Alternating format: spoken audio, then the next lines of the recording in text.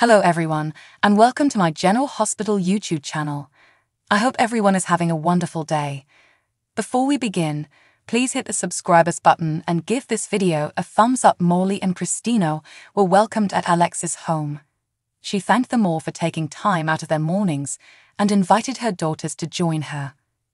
Molly admitted that she thought they'd been summoned to the principal's office, but Alexis reassured both Molly and Christina that they weren't in any trouble. However, Alexis stressed that it was critical that her daughters make their commitment to surrogacy legally binding, because Christina could not sign a contractual agreement that would legally make the unborn child Molly's. Because New York only acknowledged surrogacy when the egg donor was a third party, Alexis emphasized that the state's Child Parent Security Act was new and could easily be contested. Christina questioned whether that would make a difference, and Molly agreed that it would. There is a significant difference, Molly stated, because Christina would be both the surrogate and the egg donor. Alexis disclosed that a surrogacy contract would be unenforceable in New York. Christina felt convinced that she and Molly could find a way to work around the problem, but Alexis disagreed. Christina became enraged and accused her mother of attempting to protect Molly from her, but Alexis argued that she was only looking out for everyone's best interests.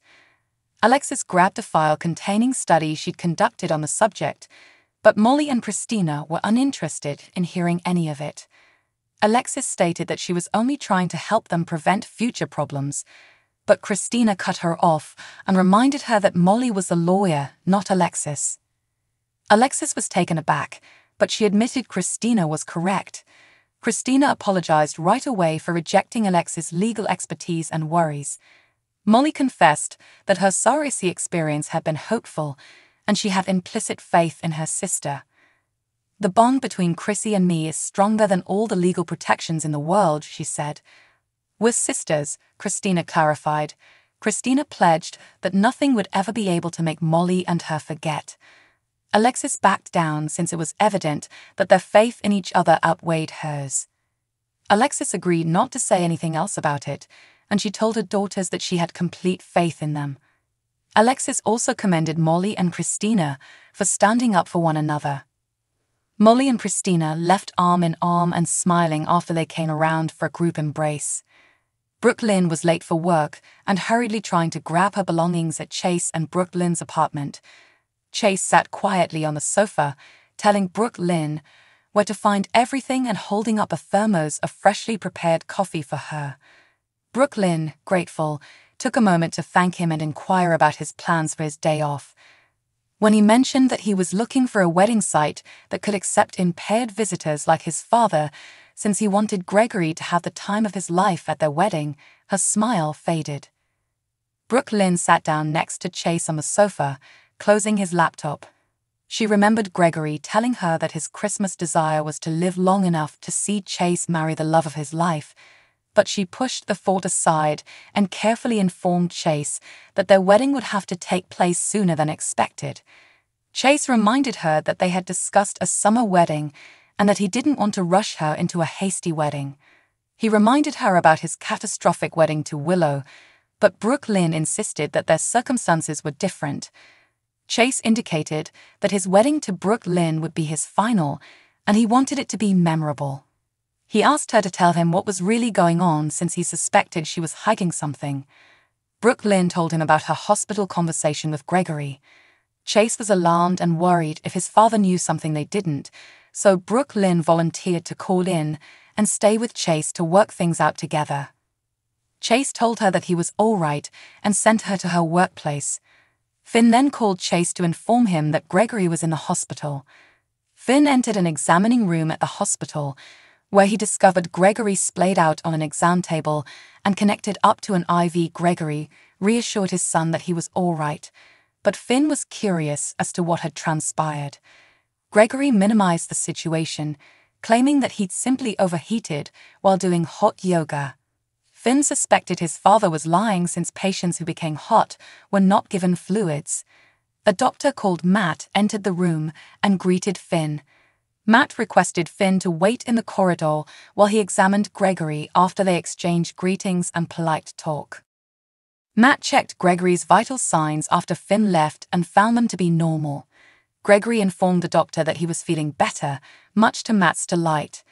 He did, however, advise Gregory that he wanted to admit him for observation and testing because his fall may have been caused by dehydration or a new indication of the disease. Gregory was displeased, but he agreed to stay only one night because Gregory had plans for New Year's Eve. A young woman approached Finn in the corridor and inquired about Gregory.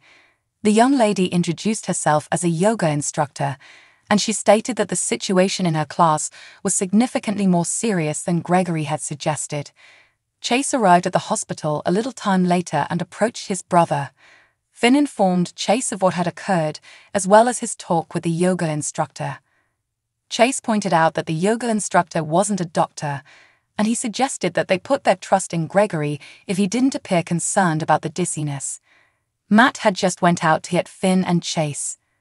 Gregory was irritated when he saw Chase because he didn't want his son to be worried unnecessarily. Gregory asserted that he was all right, but he added that he was only staying for the night. Chase told Matt to look after his father since Gregory had promised Chase's wife a dance at their upcoming wedding in the spring.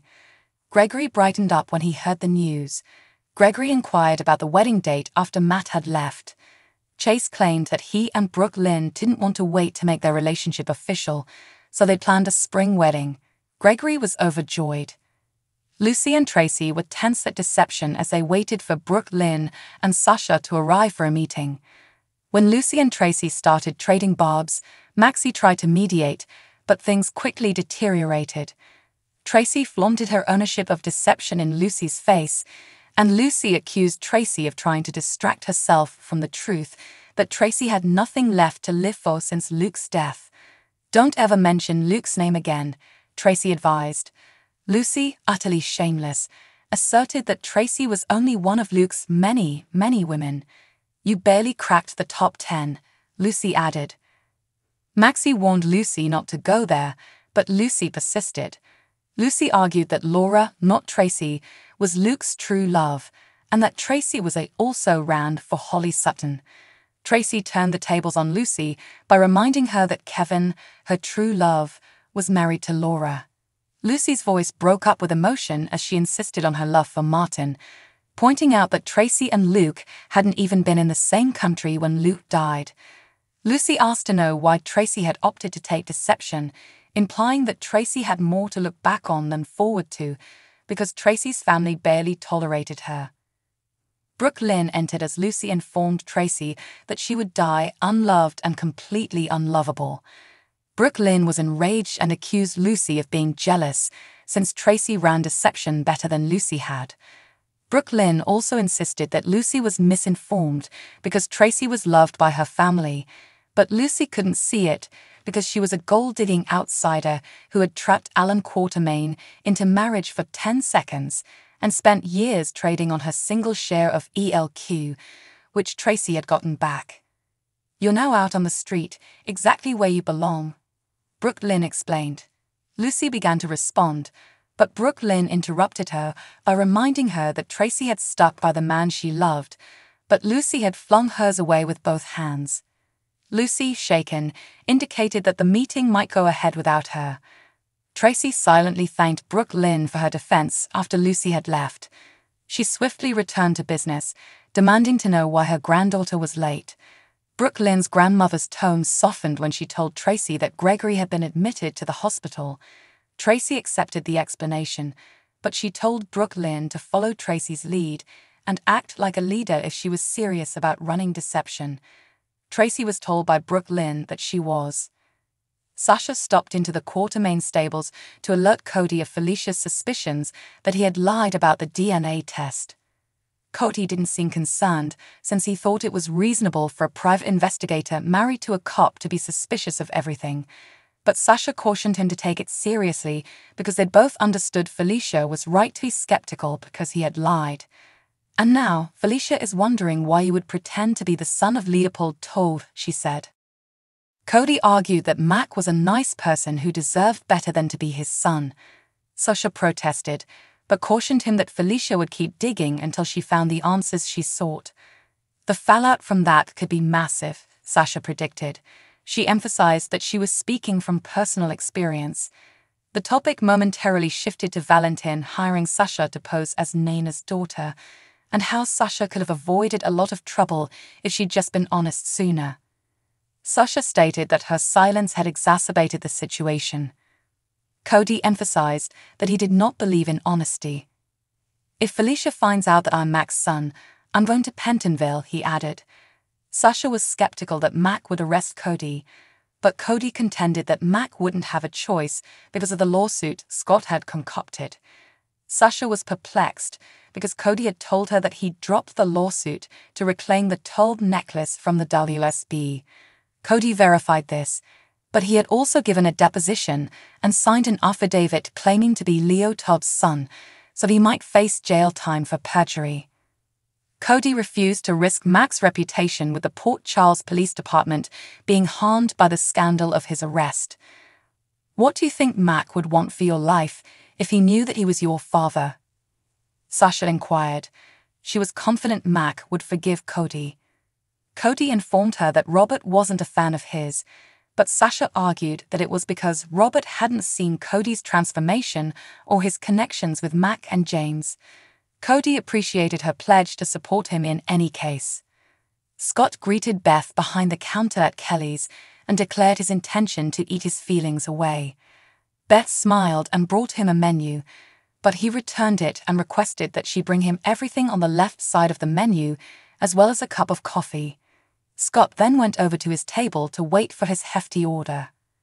Felicia told Robert that she had invited him to meet her for breakfast because they needed to address a family situation and she wanted his aid to solve a mystery before Mac returned from his trip. Robert was fascinated until Felicia disclosed her suspicions that Cody had lied about the DNA test findings. Robert accused Cody of deception and argued that Mac would have been better off if Cody had decided to lie about the results. Felicia was adamantly opposed. Cody had grown close to their family, she added, and there was a special link between Cody, Mac, and James. Robert questioned why Cody would lie about the DNA findings if he had grown to care about Mac's family. Felicia acknowledged that it didn't make sense but she was confident that Robert could help her figure it out. Robert persuaded Felicia to discontinue it, but she was adamant that she would not. Frustrated, Robert stated that he'd never liked Cody because he'd always suspected him of being a swindler. He reminded Felicia of Cody's early days in Port Charles and told her about an argument he had overheard between Britt and Cody regarding who was rightful owner of Leo Taub's Ice Princess jewelry.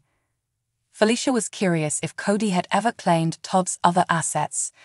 Robert didn't respond, but his gaze was drawn to Scott. Felicia grinned as she followed his line of sight. Felicia walked over to Scott's table and sat down. She started a conversation by asking about Liesl and listened sympathetically as he moaned that Liesl had rejected his last attempt to reconcile, therefore he was done trying. She eventually directed the topic to Cody but Scott's mood remained unchanged. He cost me a big payday, Scott grumbled. Scott informed Felicia about Cody's lawsuit to recover Taub's priceless necklace and Cody's decision to withdraw.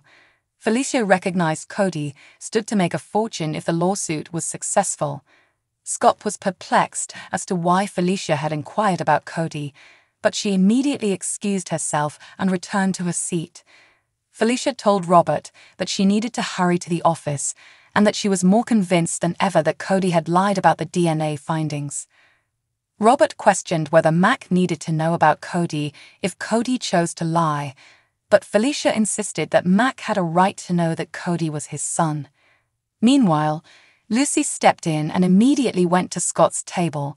She triumphantly assured him that she had discovered a method for both of them to win. Scott remarked that it was physically impossible, but Lucy was not amused. She claimed that she had a strategy that would restore what she had lost, while also earning Scott a large sum of money. I'm listening, Scott declared. Lucy guaranteed that she and Scott would win big in 2024, while Tracy would lose. Scott was curious as to how he fit in.